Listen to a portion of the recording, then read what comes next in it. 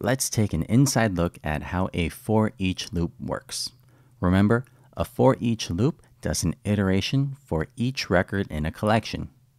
We begin with a collection, specifically a list of leads. Let's add a few leads to our collection. First, we'll add Hat Girl. Then we add Beard Man. Finally, we add The Boss. Our lead list has three records in it. And yes, I do realize this isn't syntactically proper code. Having a picture of a man in a Star Wars shirt is not a working substitute for an actual lead variable. But that part isn't important because we want to focus on the loop syntax instead. So now on the right hand side, we're going to do a for each loop against our lead list. This is the syntax. We start with for. Then inside the parentheses, we create a variable. Add a colon, then we type our collection variable. Finally, we add open and closing brackets to house the code block that runs during each loop iteration. The variable we're creating on the left must be the same data type of each record in our collection. That's because for each record in our collection, we'll assign it to this variable, run the code in our loop, then move on to the next record in our collection and repeat. This syntax should look familiar to you because it's the same thing we do with trigger.new in every trigger. Remember, trigger.new is always a list of sObjects. In fact, most of the time, you'll be using lists of sObjects when doing for each loops. Now inside our loop, we have our code block that we want to repeat. Here we're setting default field values on our lead. And here we set some anti-spam values on the lead.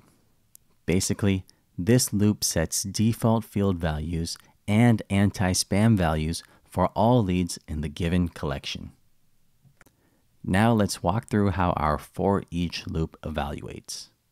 First up is Hat Girl. Remember that lists preserve the order of records inside it. Since we added Hat Girl first, she's the first up in our loop.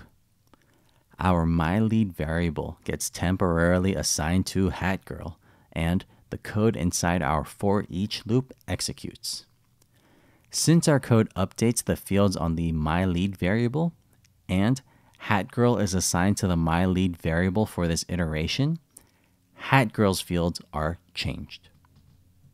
Now that Hat Girl's fields have been changed and we can be assured she won't be spammed, our for each loop moves on to the next record, Beardman. The myLead variable now points to Beardman instead of Hat Girl. Don't worry, Hat Girl's fields have already been updated, so we don't need to worry about our changes to her getting lost at this point. The code inside our for each loop executes, and now Beardman's fields have also been updated. Finally, we move on to the last record in our lead list, the boss. We temporarily assign the myLead variable to the boss, run our code block, and now the boss's fields have been updated. So now by the end of this loop, what we're left with is the same list of three leads. However, the fields of each lead in this list have been completely updated according to our for each loops logic. Everyone's anti-spam fields have been set. This just means the fields are set in Apex, however. This doesn't mean the fields have been saved back into our Salesforce database. We'll talk more about this when we cover DML shortly. Now let's move on to the for loop. Remember, this is the loop you use when you want to loop a specific number of times. You'll be using this type of loop often in test classes.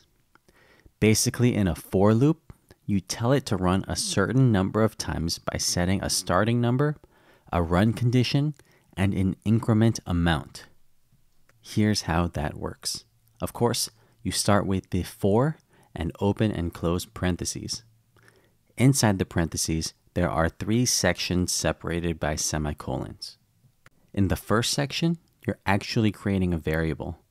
This variable is always an integer and it's almost always called the letter i, which I consider short for iteration number. By the way, ignore the variable naming rules just this one time. You'll often set i to 1. This first section is your loop's starting count. In the first iteration of your loop, you'll have access to the i variable and it will equal to 1. Next, we set the run condition. As long as this condition evaluates to true, your loop will run its next iteration. You set this condition less than or equal to the number of times you want your loop to run. So in this case, we want our loop to run exactly 200 times. So we say keep running this loop as long as i, the iteration variable, is less than or equal to 200. Note, we use less than or equal to 200. If we just use less than, our loop would only run 199 times. Finally, we set the increment. This tells our loop to increment our iteration variable by this amount after each iteration. We type i++ plus because that's another way of saying add 1 to this value.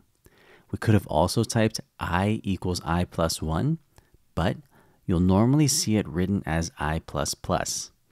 It's possible to increment i by more than 1 each iteration, but you rarely see this happen. So to summarize this entire for loop in one sentence, it basically says start our loop by setting i equals to 1, add 1 to i after each iteration, and keep looping as long as i is less than or equal to 200. Thus, our loop will run exactly 200 times. Here's an example of a for loop in practice.